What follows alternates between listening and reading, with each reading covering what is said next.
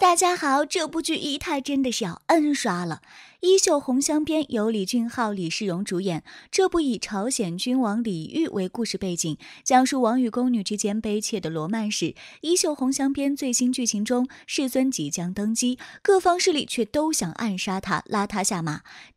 其实历史上李算的登基之路确实很艰难，以下揭秘真实历史中李算的成王之路。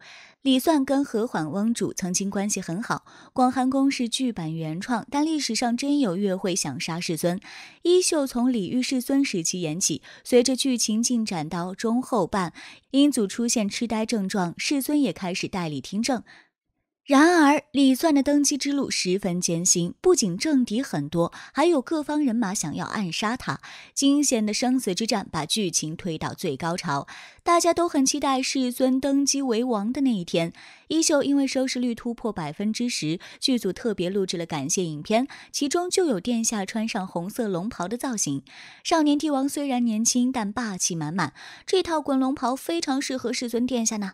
其实，衣袖最大的看点，除了男女主角的爱情戏外，宫廷斗争的部分也写得很精彩。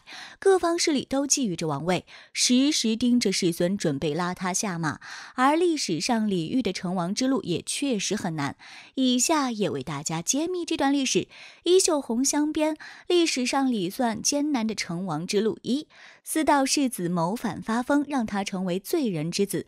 李算因为是四道世子的儿子，从小就背负很大压力。历史上，四道世子因为谋反发疯，被关进米柜，活活饿死。他成了朝鲜的罪人，而李算也就成了罪人之子。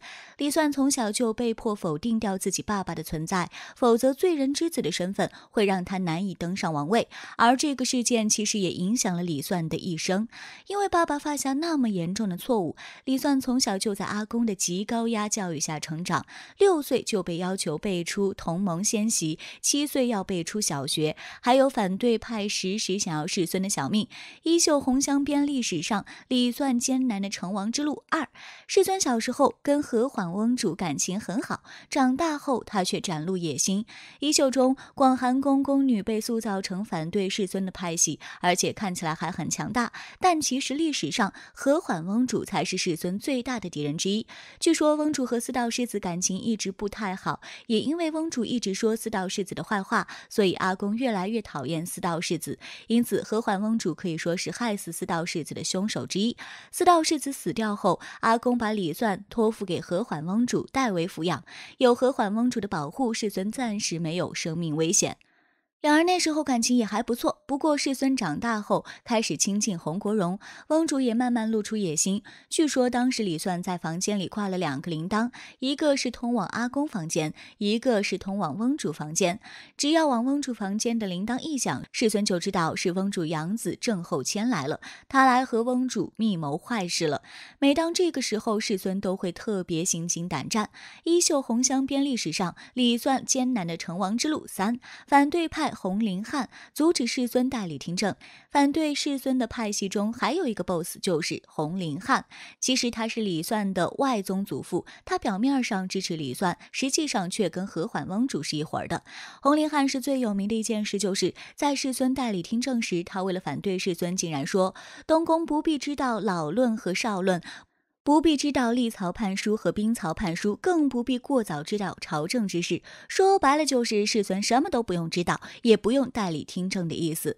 洪林汉等人一直在阻挠李算登基，后来李算登上王位后，过了四年，终于把这些人通通清算了。衣袖红镶边历史上李算艰难的成王之路四，广寒宫是剧版原创，但真有月会想杀世尊。剧里广寒宫是架空的，不过确实有宫女想杀害李算。反对派之一的臣子洪相范收买了一群人要杀害李算，其中包括宫女江月慧。他们在某个夜晚埋伏在李算住所外。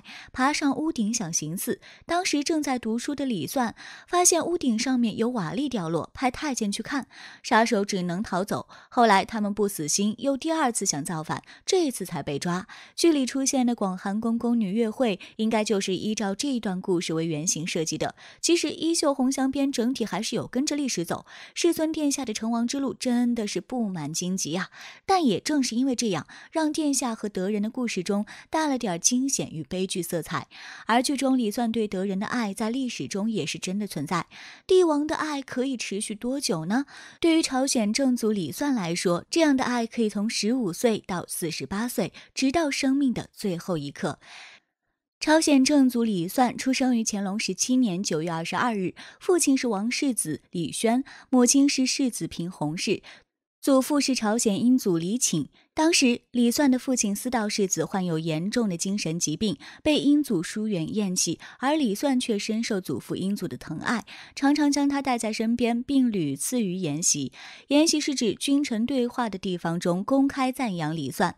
乾隆二十四年二月，五岁的李算被立为王世孙。乾隆二十六年三月，七岁的李算入学景贤堂。乾隆二十七年春，十岁的李算行冠礼于家里，迎娶金石墨之女为王氏。世孙平，而就是在这一年闰五月，发生了祖父英祖将父亲司道世子。关进昌庆宫徽宁宫的米贵最终活活饿死的人武祸变，亲眼目睹了祖父杀死了父亲，却不能为父报仇，还要提起十二万分精神来面对反对他继承大统的各方政治势力，屡次命在旦夕，终日生活在痛苦和担忧之中。